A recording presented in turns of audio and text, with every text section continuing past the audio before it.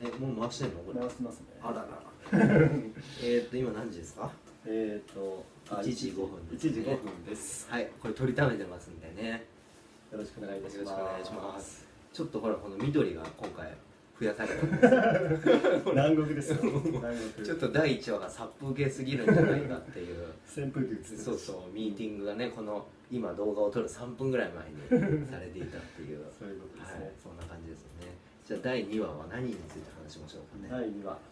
フィリピンのグルメについてじゃあ話してフィリピングルメですね。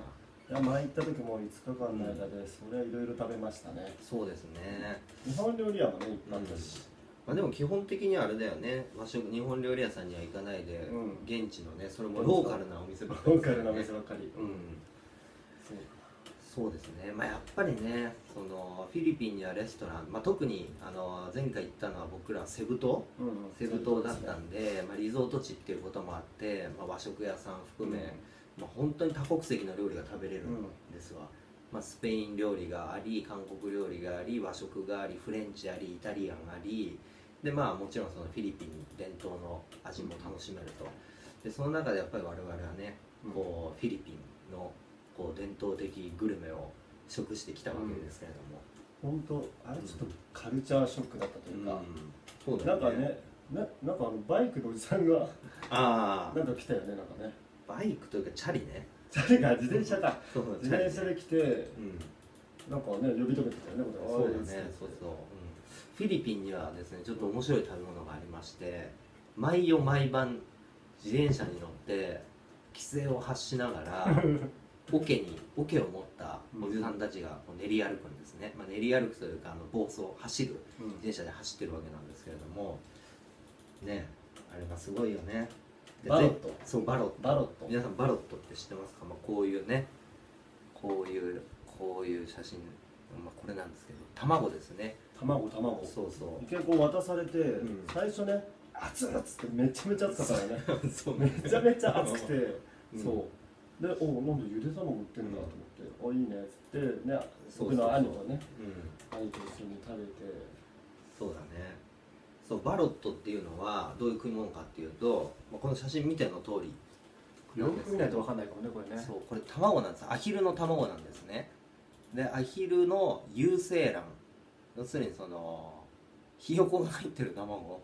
孵化寸前のものを食べるっていうものなんです。でまあさっき話したように夜にならないと売りに来ないっていうのが味噌なわけですよ。でなんで夜にならないと売りに来ないのかっていうのをまあいろいろ調べてみた結うん。果諸説いろいろあるんですけれども、まあ、バロットっていうのは勢力増強剤として食されているわけですね、だからまあ夜に売りに来ると。であとまあフィリピンっていうのはあの平均年齢が2 2 3歳なんです。国のね。若いね、そう若い。うん、だからあんなエネルギッシュそういうことなんですよ、少子高齢化日本とはもう全く真逆なわけです、うんうん。子供が多いと。でお年寄りが少ないと、うん。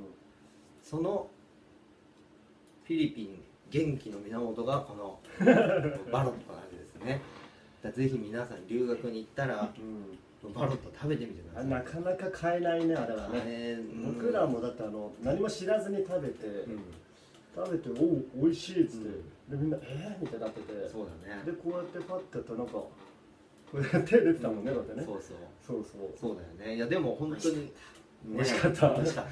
そう鶏肉入ってたらラッキーって言ってたもんね。そうそうね。であのーこの彼のはい。元秀君のお兄ちゃんが哲郎さんって言うんですけど哲郎さんも一緒に行って哲郎さんに関してはバリバリバリバリ食った後にあラッキー鶏肉が入ってる あのリアクションは本当に初めて聞いたわ、いやでもこれは本当美味しかったです、で皆さんもねぜひこれこれバロット、これ中身見ないで食べた方がいいかもねそうですね、まあでもこうやって見せてっからね今ね。これを脳裏に焼き付けてうん。食べてみてください。いや本当美味しかったです、そうです、はい。そうなんですよ。本当見た目と違って味は美味しいと、うんやっぱこういうねみんなが嫌がるようなことも体験するっていうのはね、やっぱフィリピン留学の魅力ですよね。うん、ですね。うん。はい。ということでグルメについて。グルメについてですね、2話目。2話目です。どうですか？トークうまくなりましたか？ありがとうございました。すがにね何時もう1時10分だからねちょっと頭おかしくなってきてますけど。まだまだいきますよ、はい、じゃあ皆さんぜひセミナーで続きを。お会いしましょう。セミナーはちゃんと真面目な話しますんで。はい、もう熱い話をしますので。はい。じゃあまた。どうも。サラマッツモノトビ